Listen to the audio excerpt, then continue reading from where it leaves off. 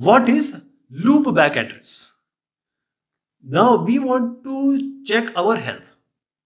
So in our computer system or in our operating system, if the TCP/IP stack is there or ISO OSI stack is there, whichever is there, whether it is working fine or not. For that, what we do? We use the loopback address. Loopback address. And we have different classes.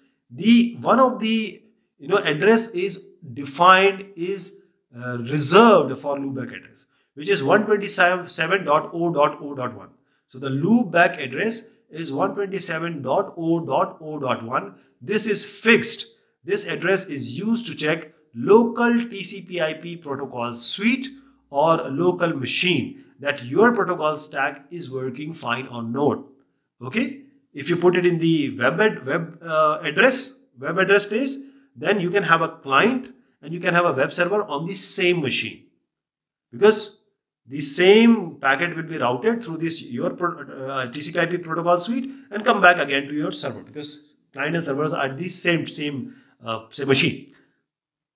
So a class A network number 127 is assigned the loopback function that is a datagram sent by the high, higher level protocol to a network 127 address should loop back inside the host. Loop backing, it is it, will never go. See, no datagram sent to the network 127 address should ever appear on any network anywhere. It will start from your machine and at your machine. From your application layer, it start goes to physical layer, your physical layer, again come back to your application layer.